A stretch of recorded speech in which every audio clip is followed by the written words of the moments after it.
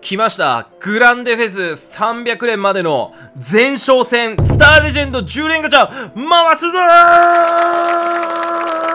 どうも皆さん、こんにちは、ミザです。本日はですね、まあ、グランデフェスもすげえ魅力的なキャラクターが2体追加されたんですけれども、それは置いといて今回はスターレジェンド10連ガチャで、まあ、とりあえずちょっと今後の占いだよね。次のグランデフェスの占い、俺基本的にね、流れ信者なのね。当たったから外れるな、みたいな、そのプラマイゼロ信者じゃなくて、流れ信者なの。つまり、ここで当たったらそのまんまバコバコ当たるっていうのが俺の中の理論としてあるんですけれども、まあ、今回はサマースターレジェンド10連ガチャでその運の流れを確認していきたいなっていうふうに思ってます。でもね、今回のサマースターレジェンド10連ガチャはね、割と当たりやすくなってる。俺の中で。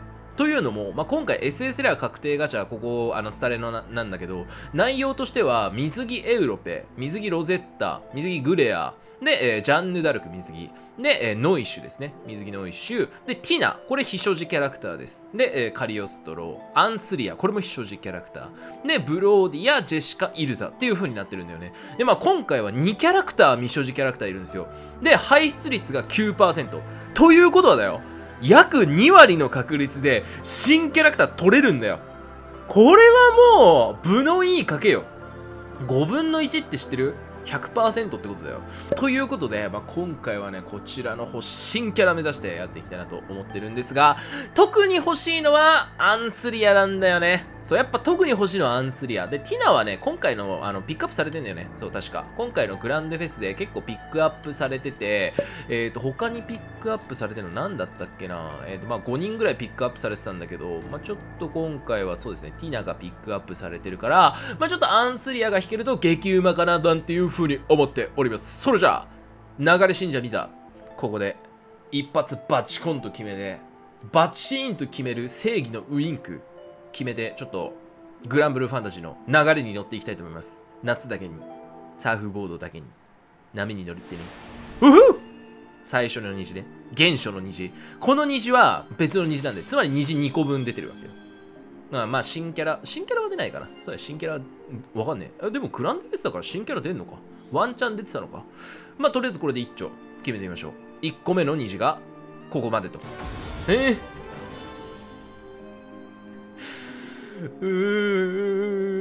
これジークフリートの武器だよね。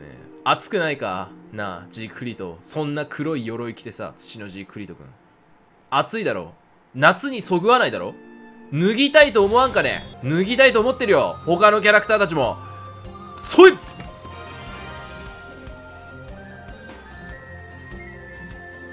まあまあまあまあ。まあまあまあサモミラはうめえっすよ。まあまあサモミラはうめえ。この流れはまだ大事にしていきたい。サモミラは欲しかったサモミラだから。これは悪くない流れ。で、ここで最後の SS ラ確定ガチャで新キャラクターサモアメモリーリークスを引いて、俺の流れが最高潮に俺の流れが有頂天に達したリトルバスターズ新キャラクターうあーニーメルングラスか。まあ悪くねえっちゃねえけどね。これね、4突実装されてんのよ。で、必殺中なのね。必殺中で4突実装されてるから、ワンチャンあるかなって感じなんだけど、ニーベルングラスって格闘だよね。2本。あこれ4突あるわ、ニーベルングラス。これで4突完成だね。まあ、いっか。必殺4突はいい武器だ。必殺4突はいい文明だ。よし。まあ、当たり飛びましょう。うん。俺はね、すごい危惧してることある。俺、ニーベルングラスが出た瞬間にすげえ危惧してしたことがあって、まあ、それがどういうものかっつうと、あのですね、まあ、今回のグランデフェスって、あの、ニーベルングラスがピックアップされてんのね。そう。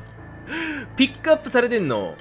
そこから導き出されるミザの答えは、そこから導き出されるミザの答えはただ一つ。これお前、出るだろう。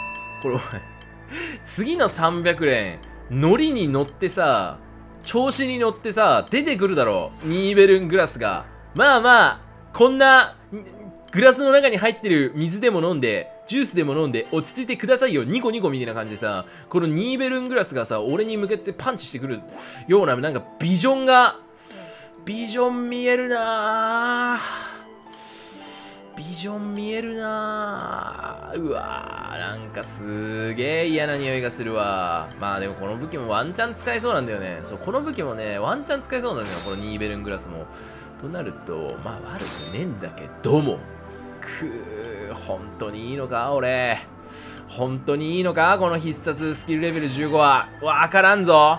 いやまあちょっとねバトルはバトルはあのー次世代に持ち越しだわ。バトルはね、次の天井に持ち越しと、グランデフェスの天井に持ち越しということで、See you the next stage! スキルレベル15にするために餌がちょっとなかったんで、ここで、尻切れトンボ。